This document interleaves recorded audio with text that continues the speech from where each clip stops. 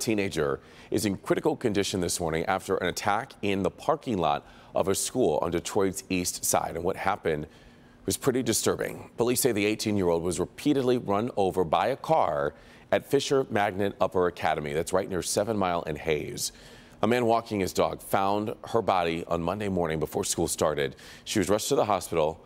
And police are telling us right now they believe the teen knew her attacker. So far, no arrests have been made. The Detroit Public Schools Community District says the incident is not school related. They are cooperating with police during the investigation. In this morning, a section of I-94 in Roseville is back open after being closed for a road rage shooting investigation. State police say that a man driving an orange Lincoln shot at another driver on westbound I-94 near 12 Mile. The victim then exited at 9 Mile and waited at a gas station until police arrived. Police are now searching for that shooter